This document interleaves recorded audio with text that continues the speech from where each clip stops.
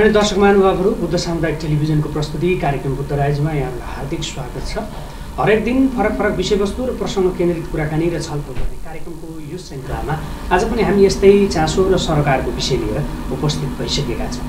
आज हामी चर्चा गर्दैछौँ कि बुटोल हुँदै बन्ने तिनाउ र दानव करिडोर र त्यो करिडोरसँग सम्बन्धित विषय अहिले चर्चा र एउटा पेचिलो विषय बन्दै गइरहेको छ।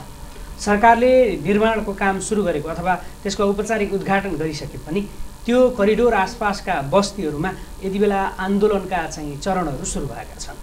करिडोर निर्माणको प्रक्रियासँगै नागरिकहरूको अथवा स्थानीय वासीहरूको आन्दोलन किन उठ्यो? आज हामी यो विषयमा केन्द्रित रहेर कुराकानी गर्दैछौँ। यो विषयमा कुराकानी गर्नका लागि आज हामीसँग हुनुहुन्छ तिनौ दानव करिडोर सङ्घर्ष समितिका उपाध्यक्ष राजु साई र यो सोही समितिका सल्लाहकार हरि घरती मगर आज हामीसँग हुनुहुन्छ। दुवैजनालाई हार्दिक स्वागत छ। नमस्कार। आराम हुनुहुन्छ? आराम ठिक छ। राजुजीबाटै कुरा सुरु गरौँ। यो तिनौ दानव करिडोर उद्घाटन भएको पनि झन्डै पाँच सात महिनाभन्दा बढी भइसक्यो होइन? अहिले आएर तपाईँहरूको आन्दोलन एकदमै चर्चामा छ। यो लगन पछिको पोते भएन? धन्यवाद। यस बुद्ध टेलिभिजनलाई पनि र यहाँ दुईवटा कुरा राख्नु दिनुभएको भने फेरि पनि धन्यवाद। के हो भन्दाखेरि हामीलाई राज्यले चाहिँ करिडोर आउँछ र करिडोर आउनु पूर्व नै व्यवस्थापन गर्छ भन्ने एउटा चाहिँ मौखिक कुराहरू सुनिएका थियौँ। तर यसरी चाहिँ आएर डाइरेक्ट उद्घाटन गरेर बस्ती चाहिँ हस्ताक्षर नगरिकन बस्तीलाई व्यवस्थापन नगरिकन अनि अलिकति चाहिँ आफ्नै पारामा चाहिँ राज्यले चाहिँ बल प्रयोग गरे जस्तो अनुभव भएको छ सबै जनसमुदायमा। र करिडोरको विरुद्ध होइन हामी। हामी विकास विरोधी होइन नागरिक हौँ हामीलाई हिजोभन्दा आज गर्व लाग्छ सडक र हामी पनि चाहन्छौँ कि हाम्रो भुटोल नगरपालिकाको गहनाको रूपमा भित्रिरहेको विकास निर्माण पुरा होस्। तर धर्म हुन्छ भन्दैमा ट्राफिक चोकमा पिपलको बुट्टा त रोपेर हुन्न। धर्म हुन्छ राम्रो हुन्छ भन्दैमा बुटोल नगरपालिका राम्रो हुन्छ भन्दैमा दसौँ हजारको घरधुरी चाहिँ नष्ट गरेर विकास त गर्नु हुँदैन। त्यही भएर नै करिडोर सुरुवातका साथसाथै प्रत्येक घरबाट चाहिँ जनसमुदाय जागेको हुँदा र यतिखेर चाहिँ आन्दोलनमा हामी सहभागी छौँ। सल्लाहकारज्यू अब यो जुन उहाँले पनि भन्नुभयो कि ठुलो क्षति हुने भएका कारणले आन्दोलन उठ्यो भन्ने चाहिँ खास के हुन्छ यो करिडोर अहिले सरकारले जहाँ नाप नक्सा गरेको छ त्यो हिसाबले अगाडि बढ्दाखेरि हुने क्षति चाहिँ के हो? धन्यवाद यो बुद्ध टेलिभिजनलाई। त्यसैमा पनि अहिले यो तिनौँ दानव कोरिडोर यो पीडितको मुद्दा बुटोलवासीहरूको मात्रै नभएर र अहिले यो नेपालको नेपालमा नै यो चर्चाको विषय बनेको छ। हामीले बुझ्नुपर्ने कुराहरू के भने यो विकासको निम्ति हो भने यहाँ चाहिँ थुप्रै विकासहरू थिए। अब चाहिँ यहाँ यहाँ अब थुप्रै बाटा खाल्टा खुल्टी छन् अनि यहाँ सबभन्दा बुटोलको विकास गर्नुपर्ने त महत्त्वपूर्ण चाहिँ यो तिनौँ नदीले वारीको चाहिँ पवित्र नगर हात्तीसुँड बिनापाते पारीको चाहिँ अनि यो पारीको दुर्गानगर न्यु दुर्गा दुर्गानगर बगारीले जान थालेको छ। त्यो चाहिँ नदी वारी कटान भइरहेको छ। त्यो कटान भएको नदीलाई व्यवस्थापन गरेर वारी र पारी चाहिँ वारी र पलाम पारी एउटा सिमेन्टेड वाल लगाएर जसलाई चाहिँ मेसिनरी वाल भनिँदो रहेछ। मेसिनरी वाल बनाएर त्यसपछि अनि त्यो तिनौँ नदीलाई व्यवस्थित किसिमले सिँढी बनाएर रिभर कन्ट्रोल वाल लगाएर र त्यसरी पास गर्न सक्नु पर्थ्यो र चाहिँ यहाँ यहाँलाई थाहा छ त्यो लक्ष्मीनगर र चाहिँ उहाँको एरियामा त्यत्रो पहिरो गएको छ त्यतातिर ध्यान छैन।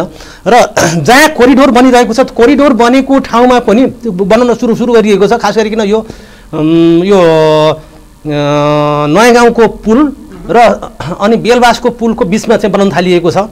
त्यो बनाउन थालेका त्यहाँ त्यहाँ गएर तपाईँ हेर्न सक्नुहुन्छ त्यहाँ गएर हेर्दा के देखिन्छ भन्नुहुन्छ भने सामान्य चाहिँ एउटा ग्यापिङ जाली लगाएर मात्रै बनाइएको छ।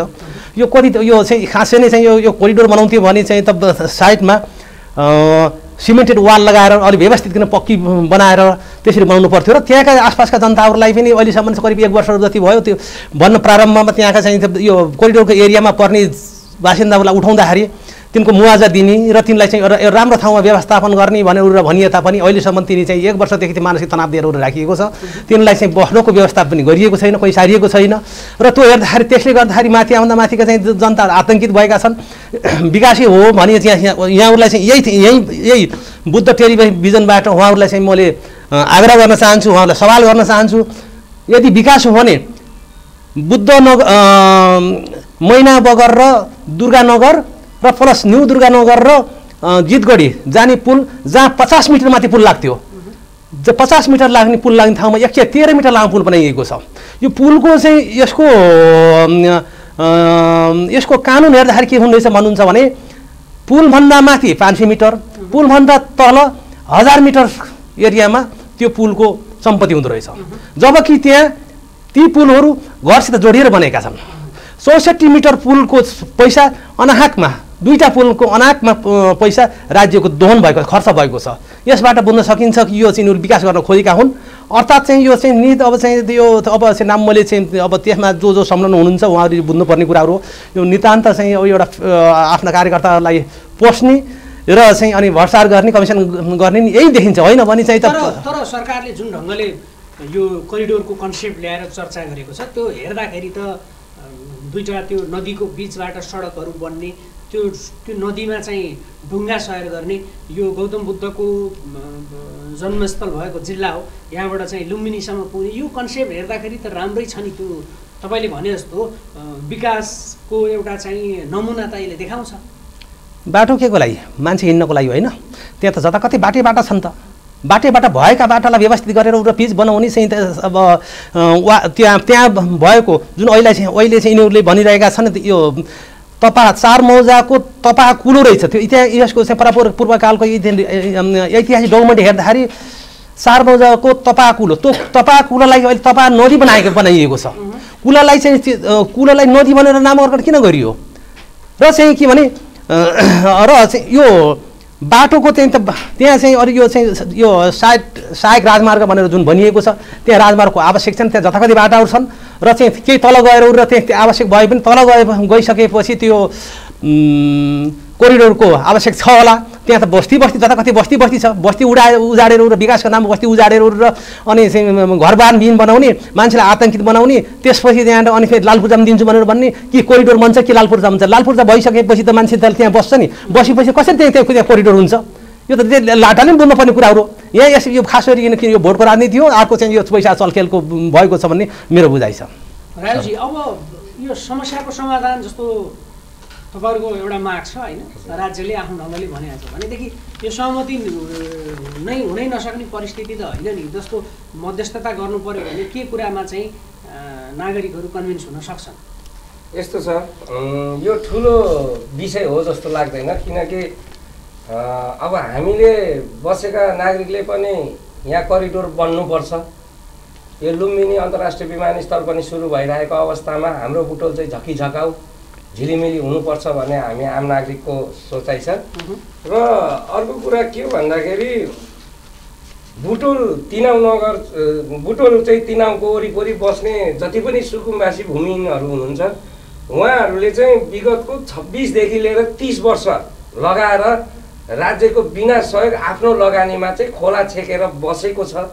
त्यहाँ किन बसेको छ भन्दाखेरि यहाँ हस्पिटल नजिक छ यहाँ ठेला चलाएर खान पाइन्छ यहाँ मोटर बेचेर खान पाइन्छ यहाँ चाहिँ हरेक लेबर काम गरेर खान पाइन्छ यहाँ आफ्नो बच्चा बिरामी हुँदा हस्पिटल लान पाइन्छ शिक्षा राम्रो दिनु मिल्छ छोराहरूलाई भनेर त्यो चाहिँ तिनाउ खोला जस्तो लाई पनि बारेर उहाँ चाहिँ दुःख सुख गरेर गुजारा गरिराखेको अवस्थामा राज्यले चाहिँ मलाई लाग्दैन कि यो ठुलो विषय हो जस्तो लाग्दैन। यदि मेयर साहबको ठाउँमा म हुन्थेँ भने मैले तिन दिनमै यो समस्याको समाधान गरिदिन्थेँ। किन भन्दाखेरि तपाईँको रानीगञ्जको जुन पनि हिजोको पटक पटक विवाद आइरहेछ त्यहाँ सार्वजनिक जग्गा हो त्यो। अर्थात् नेपाली नागरिकको जग्गा हो। हामी नेपाली नागरिक हौँ हामीले आफ्नो अधिकार माग्नको निम्ति हामीले राज्यसँग पहल गर्नुपर्ने हुन्छ। र अस्ति भर्खर पनि दुईजना मान्छे मरेको छ त्यहाँ सुकुम्बासी खोल्ने न्युमा। होइन? चारजना त्यसै गरेर अब नगरपालिका र ओडाले समन्वय गरेर प्रत्येक ओडामा सार्वजनिक जग्गाहरू खाली भएको अवस्था छ। विशेष गरेर एघार नम्बर ओडामै खाली छ जहाँ चाहिँ तपाईँको चाहिँ मणिग्रामसम्म खाली छ यो भूभाग रानीगञ्जदेखि।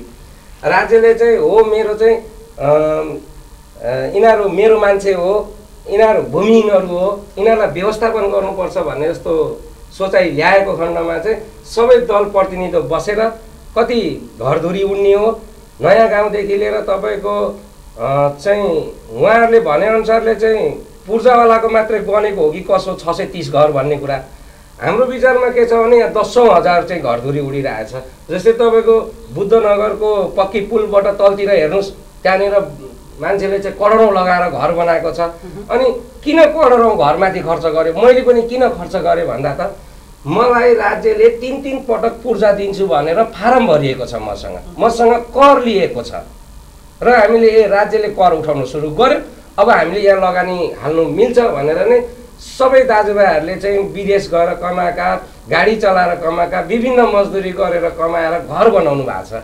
र उहाँहरूलाई चाहिँ अहिले कुनै सूचना नदिकन कुनै पनि चाहिँ व्यवस्थापनको कुरा नल्याइकन नगरपालिका अनि केन्द्रीय सद केन्द्र सरकारलाई पनि के भन्न चाहन्छु भने हामी नेपाली नागरिक हौँ हामी पक्कै पनि भारतीय र चाइनिज मान्छे होइनौँ र हाम्रो अधिकार हामी बुटोलभित्रै चाहिन्छ र फेरि अर्को कुरा के पनि भन्न चाहन्छु भने हामी मजुवावासी हामी करिडोर पीडित जति पनि छौँ नयाँ गाउँदेखि लिएर रानीगञ्जदेखि लिएर उहाँहरूलाई चाहिँ व्यवस्थापन गर्नको निम्ति हामीलाई पहिला पहिला नेपाल सरकारले गरे जस्तो कोहीलाई जङ्गलमा को गोरसिङ्गेको जङ्गलमा लगेर राख्दै पनि हामीलाई मान्ने छैन।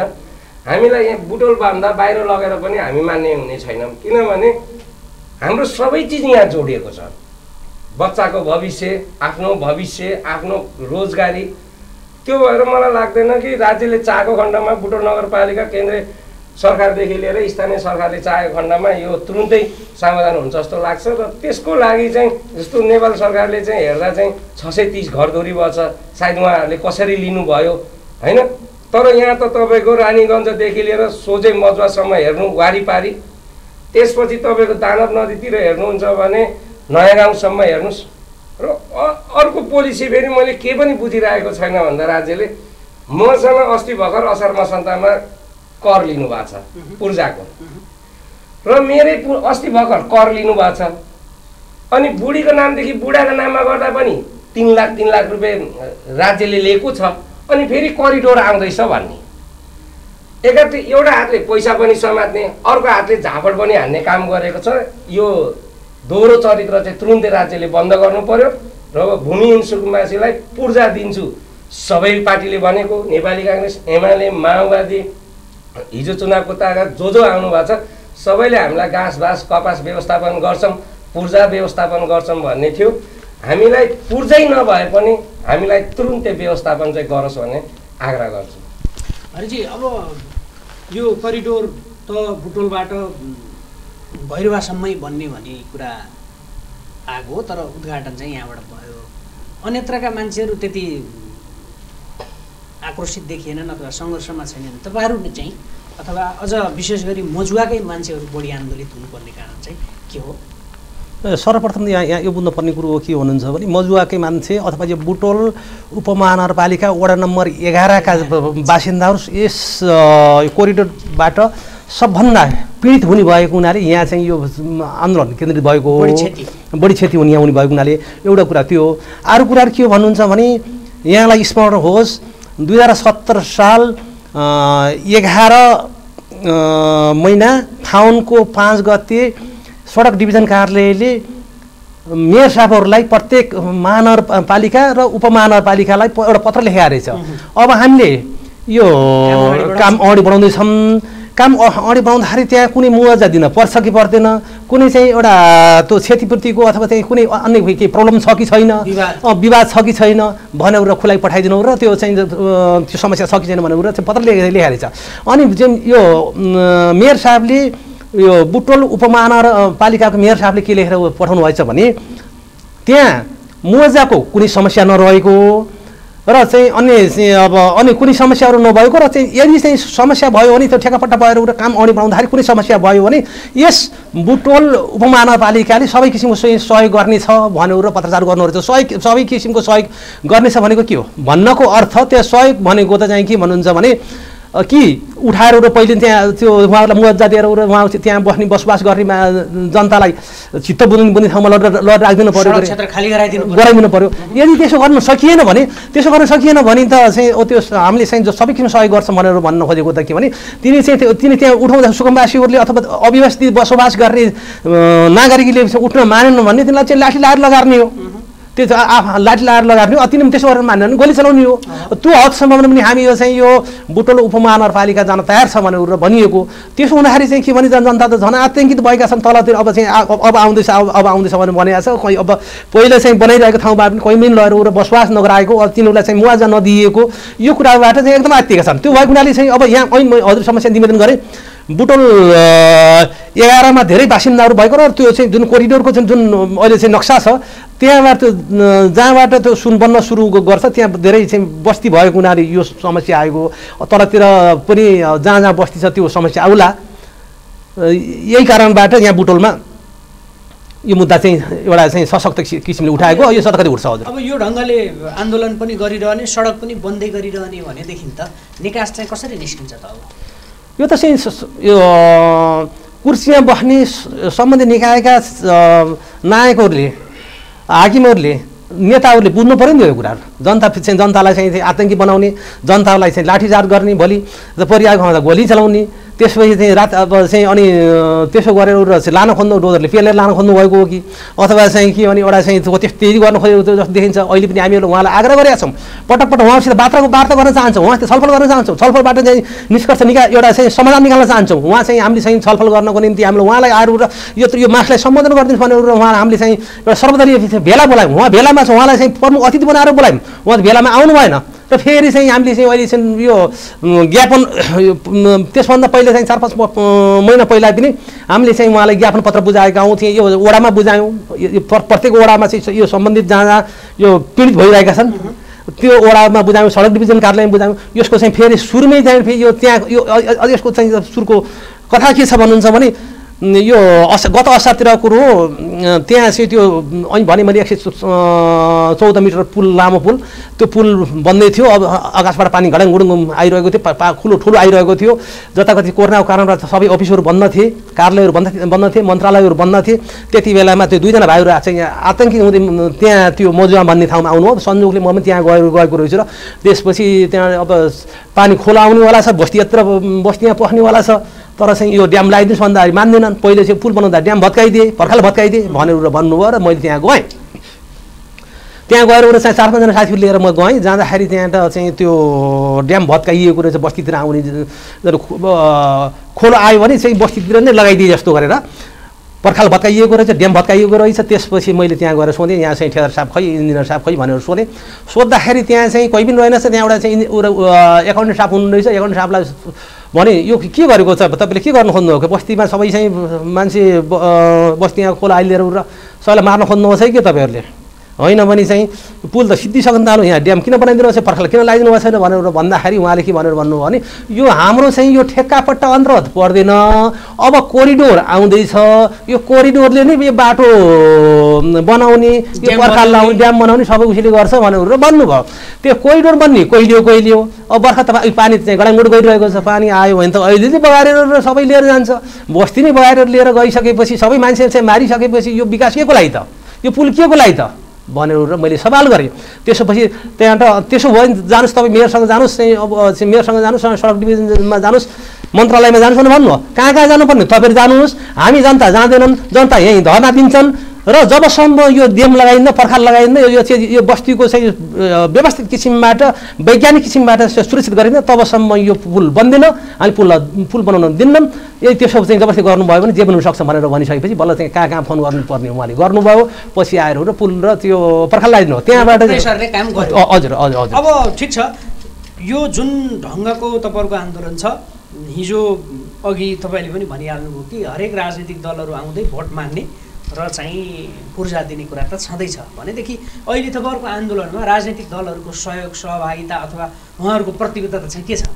एकदमै हाम्रो अभिभावक मान्नु पर्यो राजनीति सम्पूर्ण राजनीतिक दललाई। हामीले त्यही भएर नै सबै राजनीतिक दललाई पत्रचार गरेका हुन्। र हामीलाई सबै नेकपा एमाले बाहेक सबैबाट हामीलाई सपोर्ट भएको छ। समाजवादी नेकपा माओवादी सबै सबै साथीहरूले सहयोग गर्नुभएको छ। र त्यसमा धेरै जस्तो चाहिँ के छ भन्दाखेरि नेकपा एमालेकै तल्लो तहको सदस्यहरूकै घरधुरी धेरै उड्ने भएको हुँदा पीडित। पीडित। एघार नम्बरवटा विशेष गरेर हाम्रो नेकपा एमालेको मातहतमा धेरै जनसमुदायहरू त्यहाँ हुनुहुन्छ साथीहरू हुनुहुन्छ र उहाँहरू पनि समावेश हुनुभएको छ। तर के हो भन्दाखेरि हाम्रो प्रतिनिधिहरू उहाँहरूबाट चाहिँ अलि सम्बोधन भएको छैन। र अर्को कुरा के भन्दाखेरि मैले के भन्न चाहन्छु भने मिडिया मार्फत पहिला जनताप्रति उत्तरदायी हुनुहोस् र बल्ल पार्टीको निर्देशन मान्नुहोस्। म मैले पहिला मेरो घर हेर्न पर्यो मेरो समाज हेर्नु पर्यो बल्ल मैले राजनीति गर्ने हो।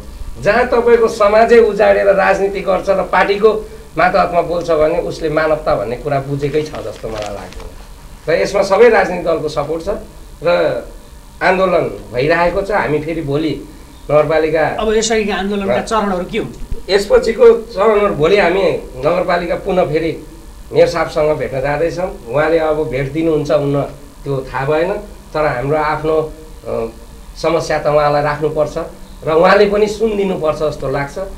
र मलाई अलिकति के पनि भन्न मन लागेको छ भने स्थानीय सरकारले चाहिँ एकदम मानवता भएको जिम्मेवारी म चाहिँ अभिभावक हुँ भन्ने चाहिँ महसुस गर्नुभयो भने यो समस्या ठुलो छैन।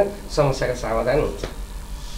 अब यहाँले अघि पनि भन्नुभयो कि जब प्रेसर सिर्जना नगर्दासम्म चाहिँ राज्य अथवा सरकार चाहिँ जिम्मेवार नहुने परिस्थिति अहिले चाहिँ यदि यही स्थितिमै यो करिडोर दुवै दुवैतर्फ बन्यो भनेदेखि चाहिँ कस्तो खालको क्षति हुने हो? किनभने अघि उहाँले भन्नुभयो कि सरकारले लगेर कपिल वस्तु राख्ला अथवा कहीँ लगेर राख्ला त्यो ढङ्गको सहमति अथवा त्यो परिस्थितिमा त्यहाँका नागरिकहरूको चाहिँ नि सहभागिता कस्तो रहन्छ? निसन्देह सहभागी अत्यन्तै दिन प्रतिदिन हिजो मात्रै देखाउनु होला करिब चाहिँ करिब करिब दसौँ हजारको जुलुस हिजो पनि निक्लियो। यो दिन प्रतिदिन बढिरहेको छ। हामीले यही टेलिभिजन मार्फत के आग्रह गर्न चाहन्छौँ भन्नुहुन्छ भने यो राजनीतिक आन्दोलन होइन। हामीले त्यहाँ चाहिँ उहाँहरूले के प्रचार प्रसार गर्नुभएको छ भने एमाले लक्षित आन्दोलन हो यो। एमालेको विरुद्धमा गरिएको आन्दोलन हो विकासको विकास विरोधी आन्दोलन हो भनेर यसरी चाहिँ प- पर्वकाण्ड मचाउनु भएको छ त्यो पटकै होइन। हामीले के उहाँ के आग्रह गरेका छौँ भन्नुहुन्छ भने कसैले राजनीतिक अभिष्ट पुरा गर्नको निम्ति यस आन्दोलनमा सरिक हुनुहुन्छ भने तपाईँ वहीँ पर भन्नुहोस् यहाँ नितान्त यो कोरिडोर उम्, बाट पीडित र तिनौँ नदीबाट कटानले पीडित नागरिकको मात्रै यहाँ त्यसको चिन्ता गर्ने र चाहिँ त्यो त्यो पीडित भएकाहरूको मात्रै सहभागिता सहभागितामूलक यो आन्दोलन हो। त्यो भएको हुनाले चाहिँ के भन्नुहुन्छ भने यो यसमा कुनै कसैको राजनीतिक राजनीतिक अभिष्ट छैन। त्यो चाहिँ त्यो त्यसो भन्ने त्यो त्यसरी आरोप लगाइन्छ भने त्यो नितान्त गलत हो। अरू कुराहरू के भन्नुहुन्छ भने अहिले अहिले चाहिँ अब यो आन्दोलनलाई केही रोक्नको निम्ति नरानदेखि बल लगाउनु भएको छ केही साथीहरूले।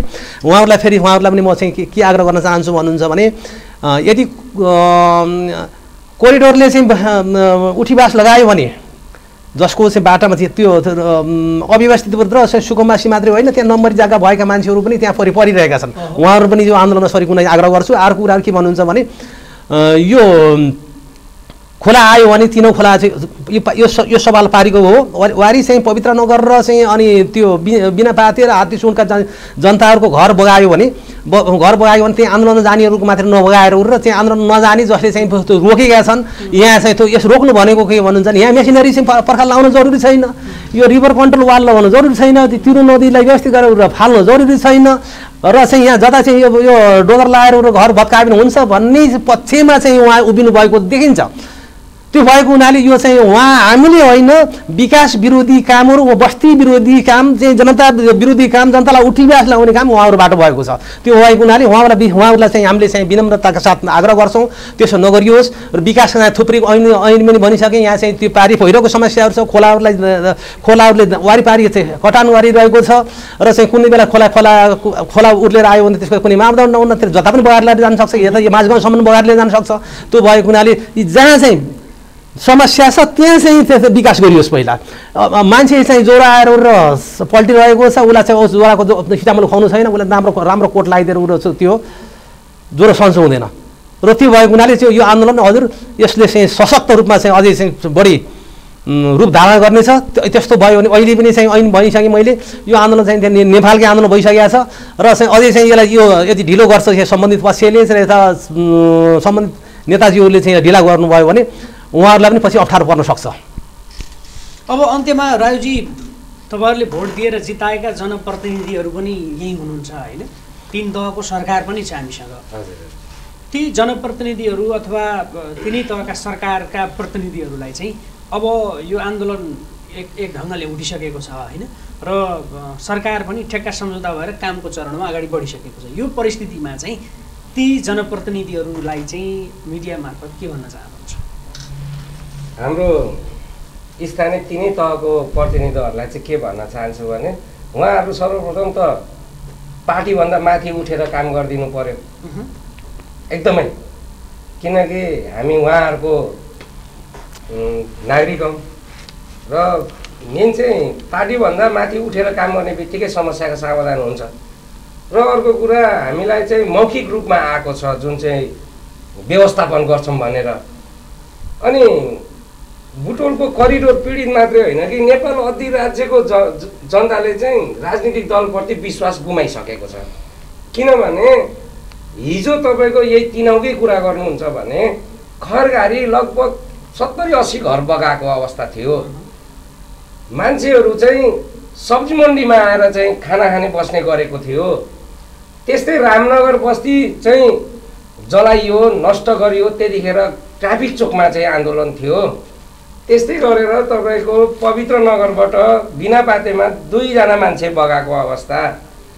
त्यतिखेर चाहिँ तपाईँको राज्यले अथवा दुई हजार त्रिसठी सालको जनआन्दोलन पछि सबै राजनीतिक दलहरू दुई दुईचोटि राष्ट्र प्रमुख भइसकेको अवस्थामा कुनै पनि पार्टीले आएर तिमीहरूको यतिवटा घर बगाएको छ तिमीहरूलाई व्यवस्थापन गर्छौँ हिजो पनि भनेको थियो।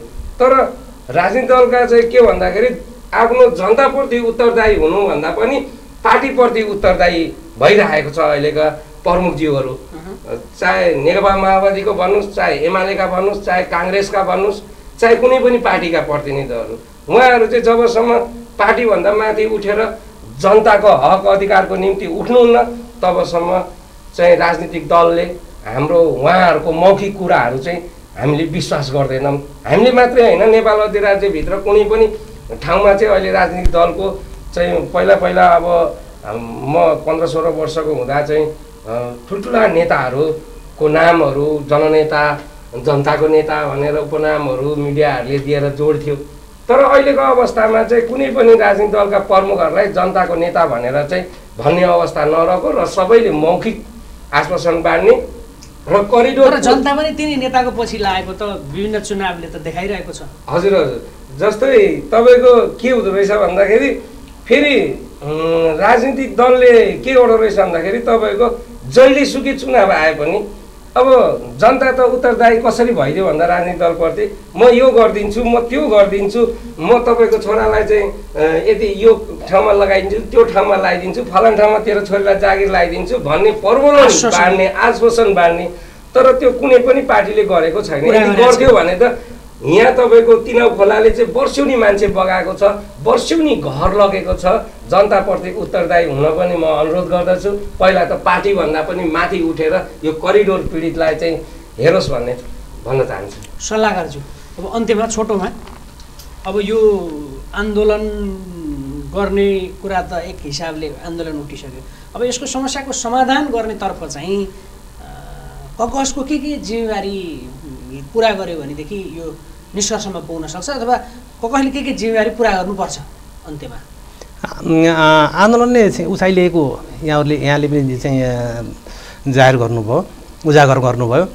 र यो सङ्घर्ष समितिसँग यथाशीघ्र मेयर साहबले वार्ता गर्नुपर्छ। वार्ताको विकल्प छैन। वार्ताद्वारा नै यो समस्याहरू समाधान हुन्छन्। त्यसो नगरेर मैले सुन्छु। उहाँहरूले बरु चाहिँ हिजो एकजना चाहिँ उहाँ म नाम लिन चाहन्न। एकजना चाहिँ उहाँले चाहिँ त्यो उहाँ एउटा जिल्ला समितिको बैठक थियो अरे। बैठकमा चाहिँ यो कोरिडोर सम्बन्धमा व्यापक विरोध भयो अरे। विरोध भइसकेपछि विरोध गर्नेलाई सुकमवासी समस्या समाधान समाधान आयोगको चाहिँ सदस्यमा प्रस्ताव गर्नु अरे। त्यसै गरी जसले चाहिँ विरोध गर्छ आफ्नो पार्टीभित्र पनि जसले विरोध गर्छ उसलाई चाहिँ कुनै चाहिँ एउटा जिम्मेवार पदमा लैदिने त्यसपछि उसलाई पैसा दिने त्यसपछि उसलाई धम्काउने यसो गरिनु हुँदैन यसो गर्नु चाहिँ एउटा घातक हुन्छ।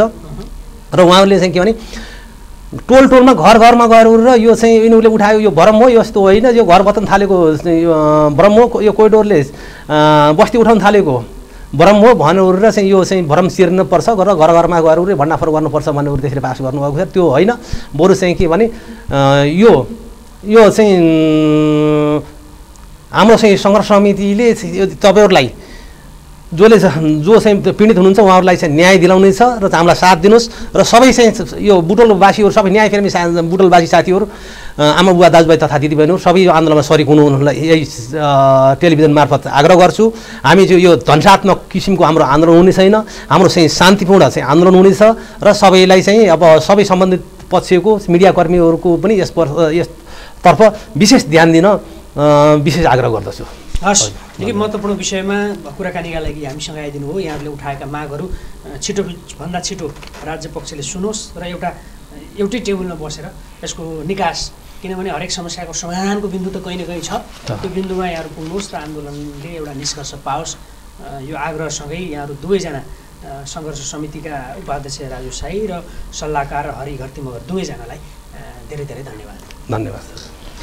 आदरणीय दर्शक महानुभावहरू हामीले दिनजेल कुराकानी गऱ्यौँ कि बुटोल हुँदै बन्दै गरेको तिनाउ र दानव करिडोर र करिडोर सँगसँगै त्यो करिडोर आसपासका नागरिकहरू जो सङ्घर्ष समितिका रूपमा अहिले आन्दोलनमा हुनुहुन्छ। उहाँहरूका विषयमा उहाँहरूका सवालका विषयमा आज हामीले कुराकानी गऱ्यौँ हामीले आगामी श्रृङ्खलाहरूमा राज्य पक्षका पनि जिम्मेवार पदाधिकारीहरूसँग यो विषयमा संवाद गर्ने नै छौँ। आजको यो कार्यक्रमको निर्धारित समय सकिसकेको छ। फेरि अर्को बसाइमा नयाँ विषयवस्तुसहित आउने बाचा गर्दै आजको कार्यक्रमबाट हामी सबैलाई आज्ञा दिनुहोस्। नमस्ते।